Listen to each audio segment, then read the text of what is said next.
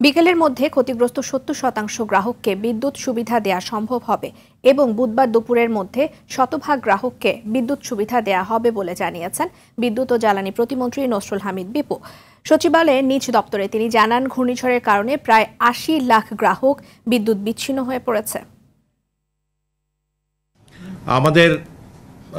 কর্মীরা কাজ করছেন, বিশেষ করে আরবির তারা ঝড় শুরু হওয়ার পর থেকে তারা সজাগ ছিলেন কন্ট্রোল রুম ছিল প্রত্যেকটা বিভাগে এবং এখন চব্বিশ ঘণ্টা তারা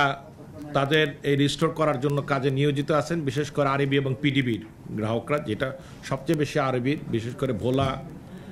আপনার পটুয়াখালী বরিশাল চাঁদপুর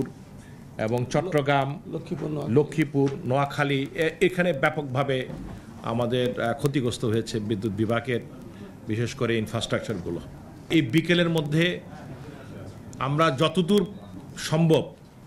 প্রায় সত্তর শতাংশ গ্রাহককে আমরা বিদ্যুতের কানেক্টিভিটি আমরা করতে পারব।